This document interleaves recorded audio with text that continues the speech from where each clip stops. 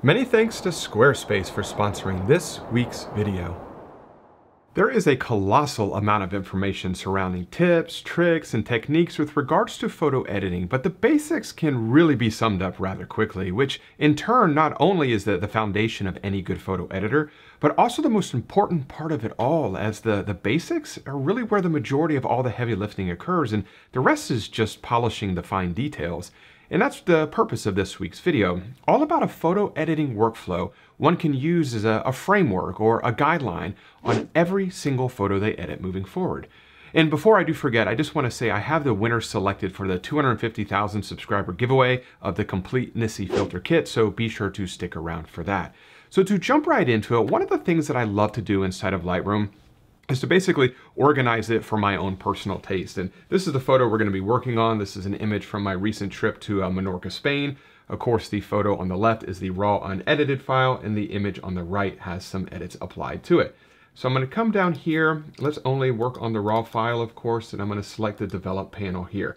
And I like to organize this. So this is the way it looks, uh, the, the default order that Lightroom comes with right here, but you can customize this to whatever you like. And I like to customize this from top to bottom in order of the workflow that I like to go through. So what I would do is I come up here, right click, and I'm gonna hit Customize Develop Panel.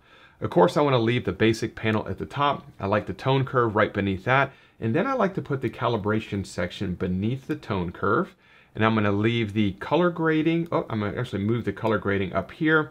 And then I like the HSL section here. I like to keep all of my colors right through here. Calibration, color grading, HSL. I'll leave my detail section here. I like to put my effects section right here. And then I just leave lens corrections and transform at the very bottom because those are really the two sections that I use the least. So whenever I'm going through my editing workflow, I know that I start at the very top and I work my way all the way down to the bottom. And that just helps me to one, stay organized, but two, you know, kind of remember the, the workflow that I, I like to go through. So I'm going to go ahead and hit save. And what Lightroom does is it basically just relaunches it to the saved platform, or I should say the saved order of the uh, the different settings that you applied in your uh, your panel section or your develop panel. So let me go ahead and just make this larger on my screen again. And now you can see that it has everything customized in the order that I'd like to apply it. So the very first thing that I like to do, as I mentioned, is start at the very, very top and I work my way down. And this is a real quick workflow. Anybody can apply this to any photograph. And I literally go through the same exact process on every single image. And not only does it make me a more efficient photo editor, it makes it, uh, it, it enables me to ensure that I'm hitting all the things that are most important to me and I'm not skipping anything and at the same time staying organized as well. So I like to come up to the basic section and the very first thing that I like to do is go ahead and just balance out the exposure a little bit. As we can tell, this image is definitely underexposed. And I like to just kind of work my way from the top of the section down to the bottom. You know, bring the highlights down a fair amount here. We can bring the, the shadows up quite a bit as well to bring back a lot of that detail. Bring the white point up a fair amount as well. We Bring the black point down just a touch to about right there. I always like to soften down the details, usually right around negative 20 on clarity, increase the texture just a little bit, add a little bit of negative dehaze. That's a great way to kind of soften down the details of, of an overall photograph and just kind of just soften down the image. Negative clarity, positive texture, and a little bit of negative dehaze is something that I really apply to just about every single photograph. And then from here, I usually like to go ahead and adjust my white balance. I find that once you balance out the exposure, that's a better time to do your white balance adjustment. So I'll click the, uh, the color picker here and just kind of click something that is uh, a fairly neutral color. If I can find something here, just kind of maybe a, a white tone here. Something like that looks pretty good. A very small adjustment. Then I'll take the saturation to 100 and that's just an easy way to see if there's any kind of unrealistic color cast from that white balance adjustment, which there is not. So I'm gonna go ahead and reset that saturation to zero. And then from here, the very next thing I always like to do is adjust my crop. You know, just about every single photograph that I capture, I know that I'm going to crop it in some particular way. So this is the stage where I like to go ahead and apply that. So I'm gonna come over here to the crop tool I know I want to bring this up because I don't like this part of this uh, really cool fence here. That's what this is what really drew me to this uh, overall composition. I like this fence. So I'm gonna bring that up to about right there. Maybe we'll even bring down this a little bit here. I think that horizon is just a little bit crooked. So I'm gonna go ahead and just straighten that up manually real fast. And I think that that is looking pretty good. Let me actually just scoot this over just a touch to about, I think right here. No, right there, because I like that buoy right there. So I think that that is a good starting point right there. And then I'm gonna go ahead and close down the basic section. And now I know I go to the tone curve right underneath the basic section. So that's what I was saying. There's so many things to, to edit. There's so many different options in, in photo editing uh, software today to where it's really easy to skip something, to overlook something. But when you can start at the top and work your way down to the bottom, you can rest assured that you're not gonna miss anything. So I'm gonna move down to the tone curve. I'm gonna go ahead and just lift this point up a little bit here. And this is just personal preference. I'm gonna darken the, uh, the darker midtones. I'm gonna increase the brighter midtones just a little bit here toggle that on and off just to add some contrast and I think that that is looking pretty good right there. Might darken this down just a little bit, add a little bit more contrast to this point and I think that that looks good there. Now I'm gonna close that down and go straight to calibration. And calibration is one of my favorite ways to edit color. I'm gonna go ahead and boost the uh, blue primary right there increase the saturation of the green primary channel. Might bring this over just a little bit as well to uh, what do I want to do actually? Yeah, maybe just a touch to about right there. Actually boost this up a little bit more. And that color there, the red primary saturation, toggle this on and off and you can see what that has done. I think I'm going to boost this blue primary just a little bit more as well to that point. I think that that is looking good. And if you're not familiar with how the color calibration section works, I created an entire uh, free tutorial for you, which I'll, link below here or link above and, and throw a QR code on the screen as well. If you want to download that, it's out 100% uh, off discount codes for that so you won't have to pay anything for it. But it's a, a great uh, resource to figure out all the, the, the, nuts and bolts associated with the color calibration section inside of Lightroom.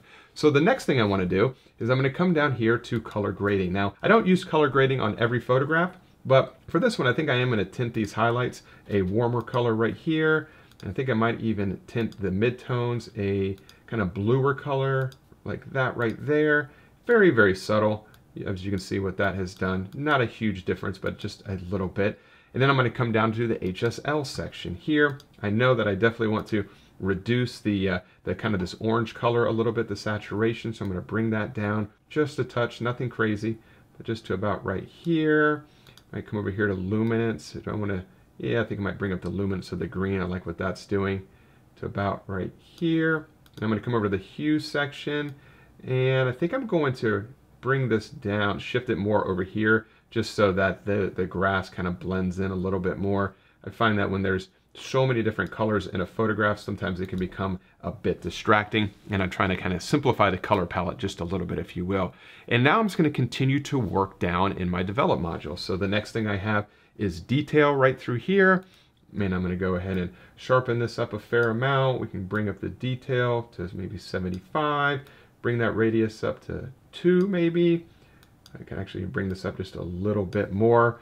We can kind of zoom into an area here. Whoops and just kind of toggle this on and off. So this is before and after, before and after. And I think that that is looking pretty good there. And then the effects panel is next. Always like to put a nice subtle vignette on my photographs, maybe not quite that much, but to about right there. And then lens correction and transform are things that I really don't do a whole lot, so I'm just gonna go ahead and skip those. And then I like to go ahead and do um, my masking. So once the overall exposure is all kind of balanced, my colors are, are balanced, or no, not balanced, but I should say enhanced or desaturated, whatever I like to do for that particular image, this is when I start to kind of look at local masking and see if there's any areas of the photograph that I do want to mask. So I'm going to come up here to the mask section. I know I want to put a, um, a radial gradient across this area here because this is where the sun was coming through. It was just about to set. So I'm to put it on a little bit of an angle, kind of drag it all the way across here. So I really want to enhance that sunlight right through there. So something like that, bring those highlights down a touch. We could soften down that clarity some. We could kind of do a little bit of negative dehaze right through there as well. We can warm it up some if we wanted to. Nothing like that, of course, but something very, very subtle. Let's toggle this on and off. You can see what that has done.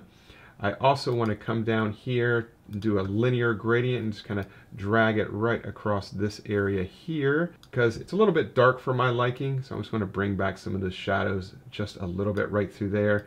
Uh, no, I was going to do something with the black point, but I'm not going to increase the exposure just a touch there just to bring back some of that detail in that bottom right hand corner. And then, of course, I had mentioned that this fence, I, I love the fence that, uh, and like I said, that's what really drew me to this overall composition.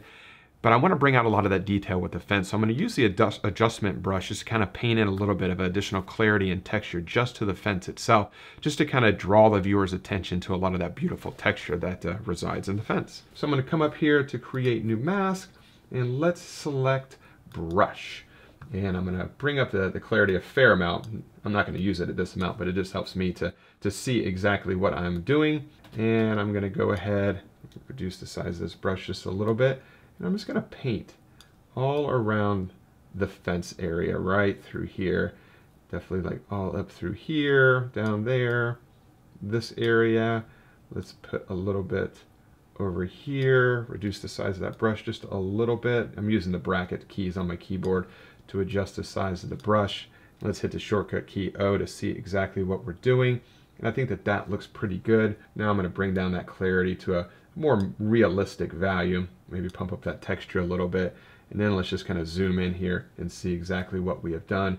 So this is before and after, before and after. And I think that that looks good. Let's uh, go back to fit here and let's toggle all these masks on and off. So this is before and after, before and after. And I think that that is looking good right there. And now I think I'm just gonna come back to the basics section and just increase this just a little bit more maybe bring down those highlights a little bit more as well. But that is the a, a, workflow that's super, super easy to do. You can uh, really apply it to, to any photograph there is. And then once, I should say any photograph that you edit, and then once I run through that complete workflow, the very last thing I like to do is just kind of clean up the overall photograph. Just look for maybe sensor spots or just something that's kind of weird sticking into the frame or just any kind of distractions. And I've already looked through this photograph. I definitely don't want to remove these, these yellow buoys. I like it in the, the photograph. I think it complements the yellow in the scene.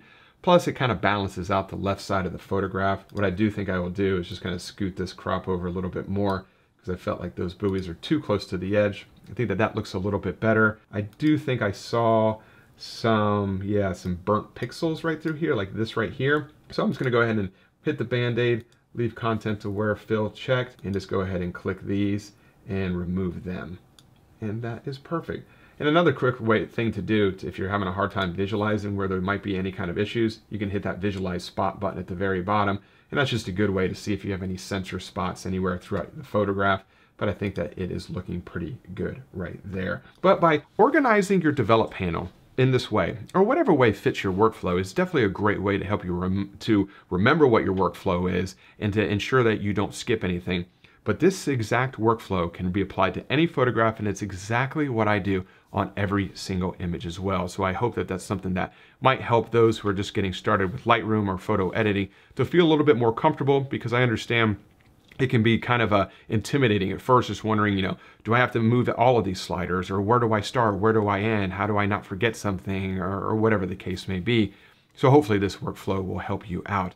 Now, before I get to the giveaway winner, I just want to say a big thanks to the sponsor of this week's video, which is Squarespace, who I use for all of my website and e-commerce needs. Squarespace provides a robust and beautiful online platform to develop your website. You can showcase your photography using Squarespace's professional portfolio designs and display your work using customizable galleries in order to make it your own. And with Squarespace's online store feature, you'll have access to all the tools you'll need to start selling your physical, digital, or service products online immediately. You can even use Squarespace's new asset library so you can upload, organize, and access all your content from a single place in order to easily find and use them across the entire Squarespace platform. So if you're looking to start a new website or possibly upgrade your current website, check out squarespace.com forward slash markdenney for a free trial and 10% off your first purchase.